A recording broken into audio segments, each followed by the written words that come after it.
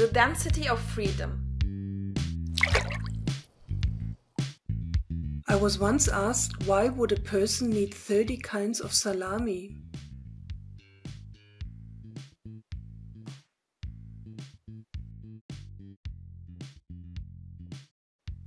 I was once asked what is the density of water?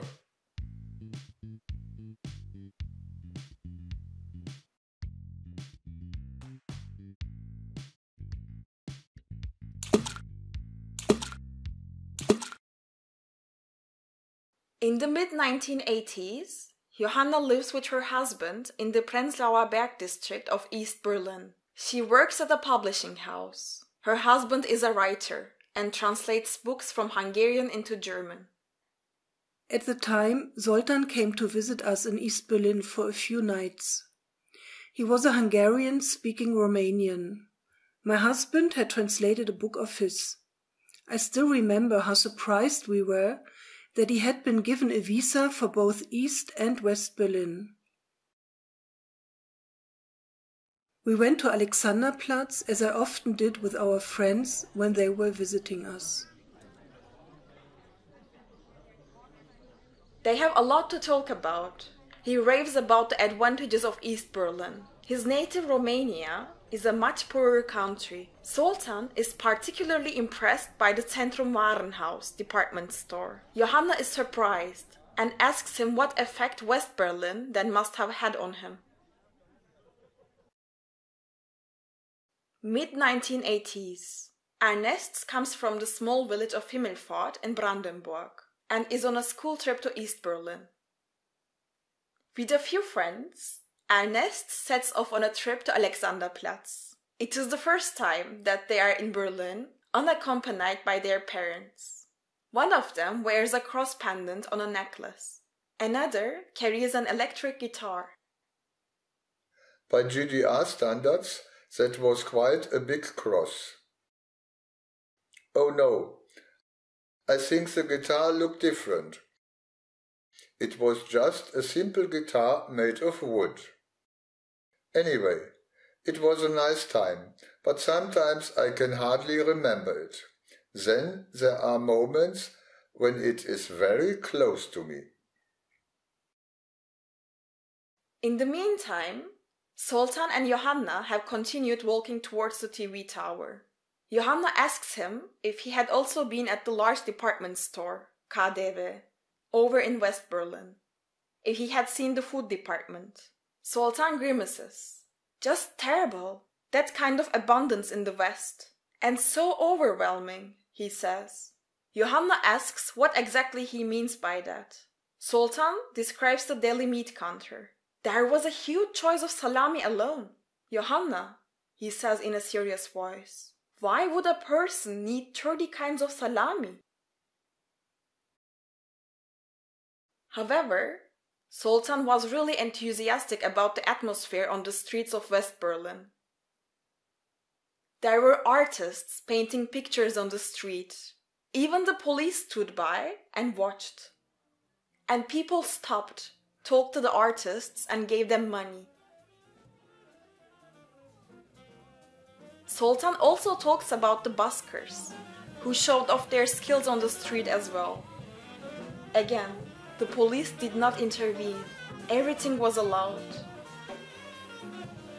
This is impossible in Romania, says Zoltan. That's not possible in the GDR either, Johanna thinks, but keeps it to herself. Ernest and his friends are used to living in a small village and only know Berlin from short visits. Sometimes they're allowed to accompany their parents when the parents want to buy something that is not available in their hometown. Enthusiastically, they now stroll through the capital of the GDR. They laugh, they marvel, they feel carefree. Suddenly, they are stopped by a police officer. They are asked to identify themselves, but they have no papers on them. They are not used to controls like this in the East German countryside. The police officer understands and lets them go. So Ernest and his friends move on. Everyone is relieved. One of them starts playing his guitar.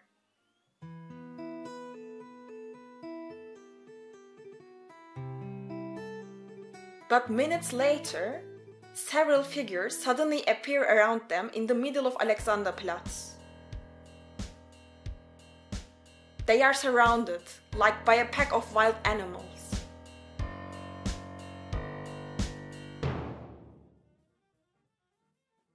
Zoltan wants to visit the observation deck of the TV tower. Together, they go up.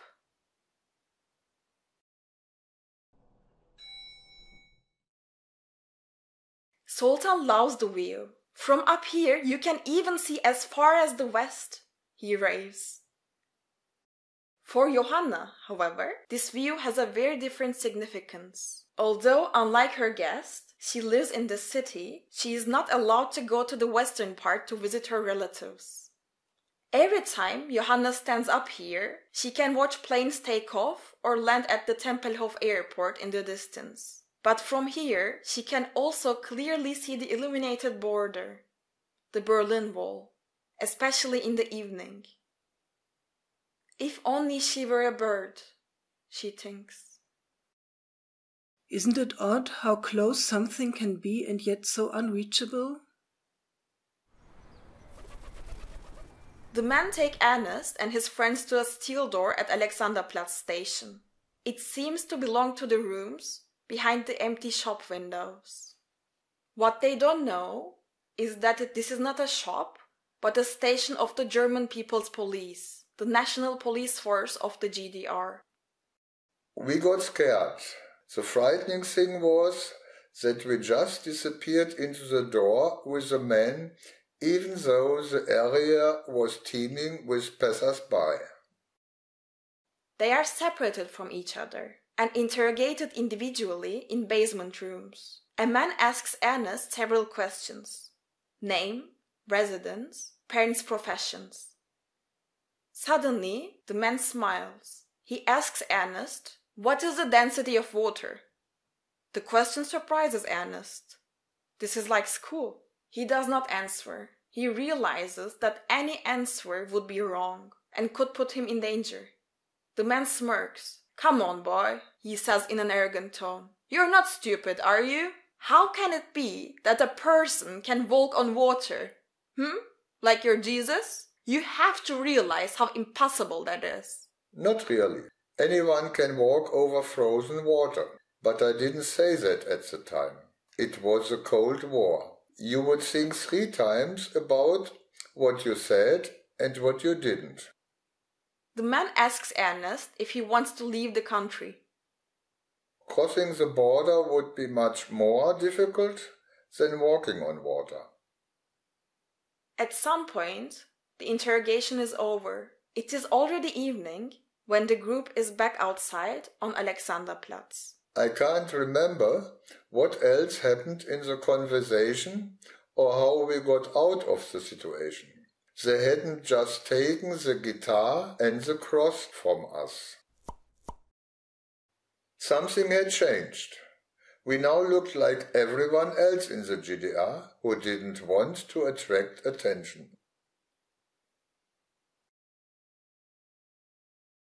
Back then, on top of the TV tower, even the moon seemed closer to me than the west. Maybe people don't need 30 kinds of salami, but they really do need the freedom to decide how and where they want to live. We never learned the exact background. The memory of the complete interrogation did not come back either. Above all, I remember the good time. Sometimes it is very close to me.